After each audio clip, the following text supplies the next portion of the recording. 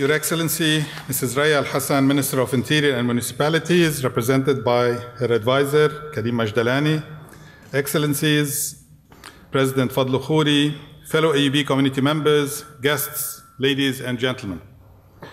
I welcome you all to this great gathering to launch the AUB NGO initiative organized by the Office for Regional External Programs, or REP, and the Global Health Institute at AUB. This worthy AUB NGO initiative is expected to play a significant role in enhancing the quality of life of communities in Lebanon and the MENA region, as well as in developing and empowering the NGO sector. REP, which represents AUB's consulting and professional training arm, has long been an incubator of initiatives. For example, when it was called RADAC, or Research and Development Administrative Center back in 1979, REP vetted institutional research projects until 1997. Today, four decades later, REP has left AUB's fingerprints all over the region, thanks to hundreds of AUB consultants that helped successfully complete over 1,200 projects with an outreach to more than 33 countries in 55 locations.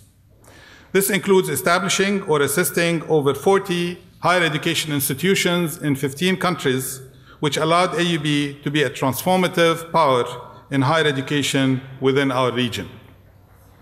Today, we're proud to launch the AUB NGO initiative and promise to spare no effort to see it grow exponentially over the coming years. However, the NGO sector is not new to AUB. We have had countless collaborations, activities, and programs with NGOs.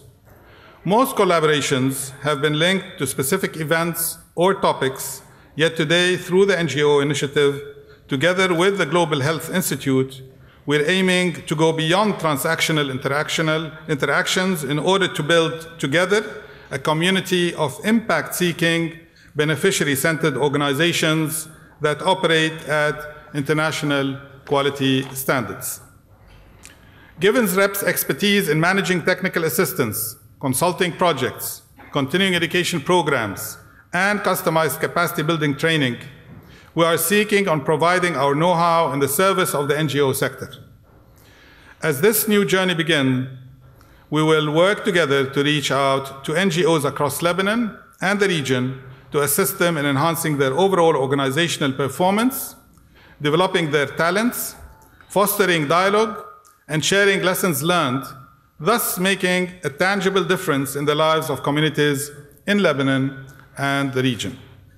Finally, I would like to thank, to acknowledge the excellent efforts made by all those that played and will play a role in this initiative. I have no doubt that it will be another outstanding success story for AUB as well as for NGOs and Lebanon as we become the regional hub for the NGO sector certification, development, and knowledge exchange. Thank you for joining us today. We look forward to working together through NGO initiative.